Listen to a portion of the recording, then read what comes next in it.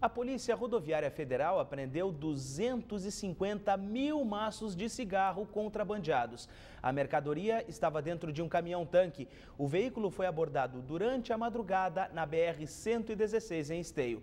O motorista afirmou que vinha do Paraná e seguiria para a Serra Gaúcha.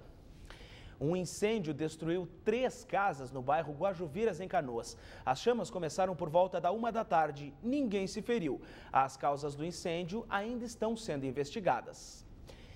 E é grave o estado de saúde da mãe e dos bebês que nasceram ontem no hospital de Novo Hamburgo. Elisiane San Martins, grávida de sete meses, precisou viajar mais de 500 quilômetros para realizar o parto. A gestante esperou três dias ah, por atendimento médico em Santa Vitória do Palmar. No município, não havia estrutura para realizar o procedimento de risco. Elisiane conseguiu internação neste domingo no Hospital de Novo Hamburgo. Os gêmeos prematuros Gustavo e Guilherme nasceram no fim da tarde de ontem e estão na UTI neonatal.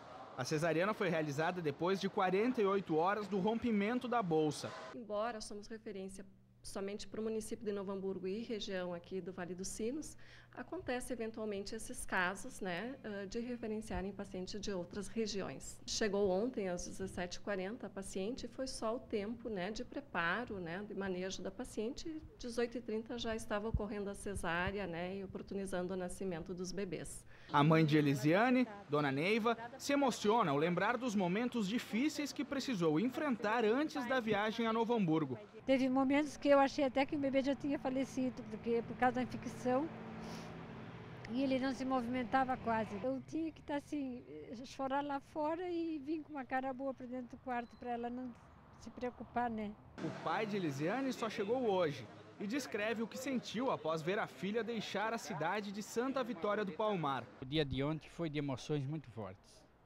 Foi de angústia, foi de desespero. A impressão que tive que perdia parte de mim o momento que a situação dela se, agradava, se agravava aqui. Sentimentos bem diferentes ao receber a notícia de que os netos haviam nascido. Foi uma explosão de alegria, sem dúvida, sim. Sem dúvida. Né? Ter crianças, não tem casa, coisa mais linda no mundo.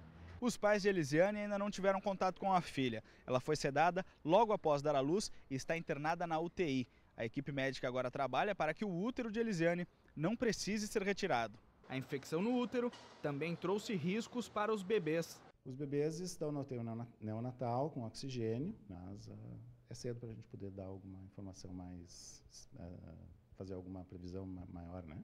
Claro que vem essas horas assim que a pessoa conversa com a gente, vem essas angústias, essas tristezas de não poder fazer mais por eles, né? Mas estou confiando em Deus, em Jesus, que tudo vai dar certo, se Deus quiser. Até o momento, a Secretaria Estadual da Saúde ainda não se manifestou sobre o caso. Agora falar da previsão do tempo. O dia começou com chuva na região metropolitana. À tarde, o tempo permaneceu nublado e começou a chover agora há pouco. Julian Serafim, amanhã vem mais chuva. Boa noite, Guilherme. Vem chuva sim. Nesta terça-feira, a previsão é de acumulados de 60 milímetros em algumas regiões. Confira nos mapas. Amanhã, com a formação de um ciclone extratropical e a chegada de uma frente fria, o tempo fica chuvoso em todo o estado.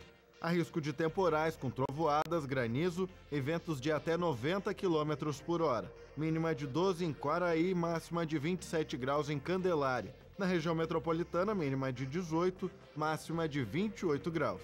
Em Porto Alegre, as pancadas de chuva acontecem a qualquer momento e tem risco de ventos fortes. Na quarta-feira, o ciclone extratropical se desloca para o oceano e a frente fria se afasta. No Rio Grande do Sul, as nuvens dão lugar a uma massa de ar frio e seco que deixa o tempo firme. Na quinta-feira, a massa de ar seco permanece sobre o Rio Grande do Sul e mantém o tempo firme. Guilherme. Obrigado, Júlia. Boa noite.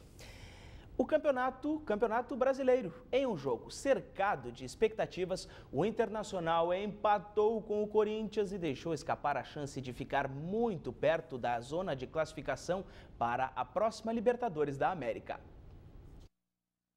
Os colorados que foram até o estádio Beira-Rio apoiar o time diante de um dos maiores rivais tiveram de enfrentar a alta temperatura registrada em Porto Alegre, mais de 30 graus. Só que nenhum deles estava esperando um resultado que cairia como uma ducha de água fria na torcida. O Internacional empilhava oportunidades de gol. Oscar, Andrezinho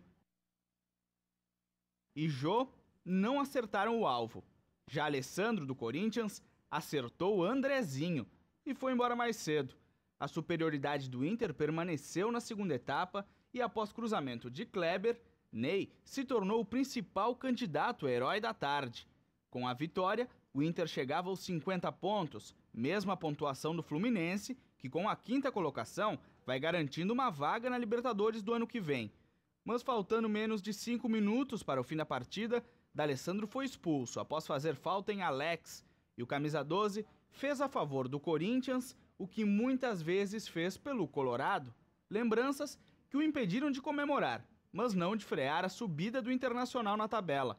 Pelo, pelo futebol apresentado e da forma que a gente tomou o gol no final, com certeza fica um gostinho de derrota.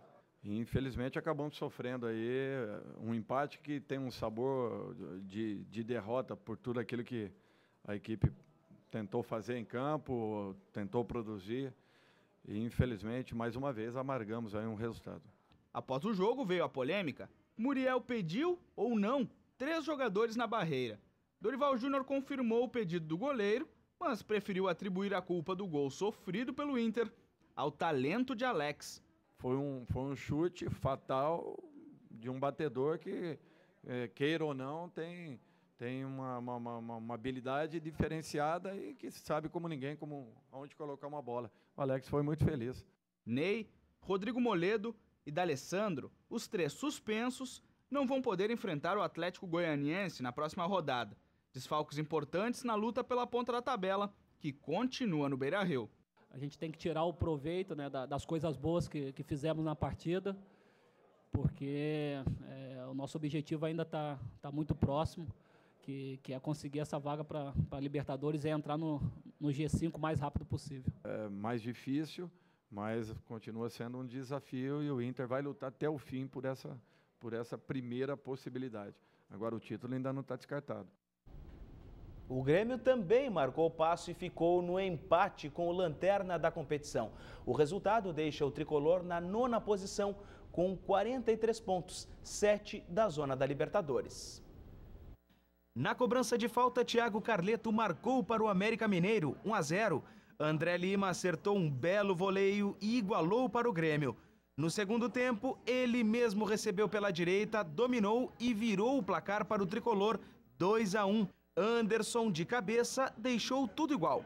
Final América Mineiro 2, Grêmio também 2.